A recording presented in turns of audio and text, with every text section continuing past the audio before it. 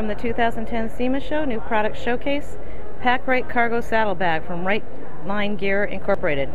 The cargo saddle bag is an easy loading cargo carrier that rests on the back of your vehicle, suspended from your luggage rack.